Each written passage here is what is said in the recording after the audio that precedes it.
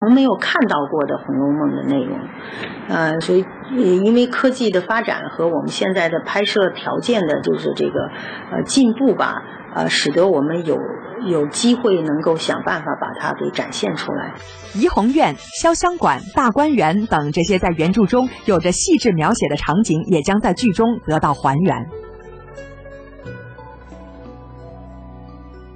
它所有的建筑跟它的人是结合的。你比方说潇湘馆，你比方说是怡红院，是要有依而据的，就是说你不能说凭空去想象的哈。那在这个去你去呃去整理和去呃去建设你这个场景的时候，你要考虑到他书中所写的所有的这些内涵。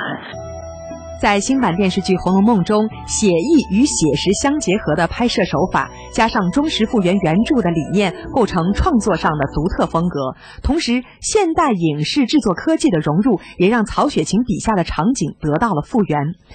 不过，新版中是否能够再现原著中的精神内涵，还要等到电视剧播出时由观众来评判。随着杰克逊演唱会纪录片《就是这样》全球上映，全球的杰克逊迷们又掀起了新一轮的纪念热潮。歌迷们戴着 MJ 的标志性礼帽，穿着经典的 MJ 式服装，对站立 MTV 中最具震撼力的鬼魂舞蹈进行了自己的演绎。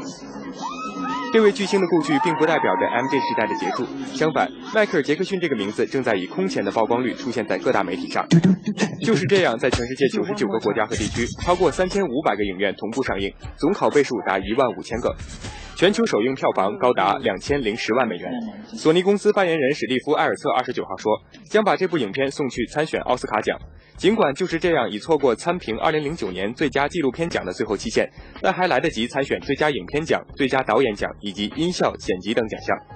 就是这样，在世界各地开始疯狂的圈钱时，福布斯杂志公布了2009年最赚钱已故名人榜。这份榜单列出了2008年10月至2009年10月期间赚了至少600万美元的已故名人。狂脸3.5亿的时装品牌 YSL 创始人伊夫圣洛朗位列首位，MJ 排名第三。在过去的一年中，他收入九千万美元，其中有七千二百万美元是他逝世至今的四个月里赚到的。借力全世界媒体对杰克逊之死的高度关注和宣传，杰克逊的专辑四个月以来在全球热卖九百万张，在网络上也有超过五百五十万次的下载。最重要的是，索尼公司花了六千万美元买下了杰克逊生前演唱会彩排的录像素材版权。而根据这些录像素材剪辑而成的电影就是这样，所产生的收益也将由索尼影业、AEG 演出公司和杰克逊遗产基金三方瓜分。正如福布斯杂志主编马修·米勒所说：“好莱坞在赚钱，但是那些坟墓里的名人也都在赚大钱。现在已故明星的捞钱能力比以往任何时间都要强。”